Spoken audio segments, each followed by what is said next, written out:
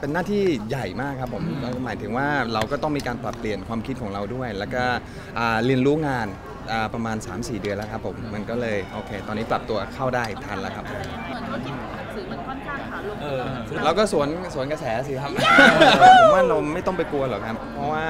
ความจริงจุดแข็งของเราเนี่ยมันก็อยู่ที่คอนเทนต์ของเราด้วย จริงๆ เรากลัวเรื่องของการขาดทุนอ๋อไม่หรอกครับอย่าอย่าถ้าเราไปคิดนกาทีฟมันก็จะนกาทีฟครับ แต่ว่าถ้าเราคิด positive เข้าไว้ผมว่าทุกอย่างมันก็ออกมาโอเคครับกับเป็นการปูพื้นฐานที่เป็นบกด้วยขาย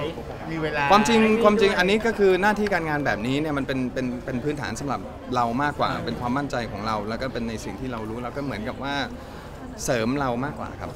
ไม่คุณคิดว่าหลุยปูทางสำหรับครอบครัวแล้วก็พร้อมแล้วที่จะแต่งอะไรอย่างเงี้ย มันเป็นบอกก็คือปูแล้วเหรอฮะปูปูแนวทางที่จะเป็นครอบครัวเหรอฮะก็ผมว่ามันเราเอามาโยงกันมากกว่าปีนี้ยังไม่มีเนาะครับผมยังครับยัง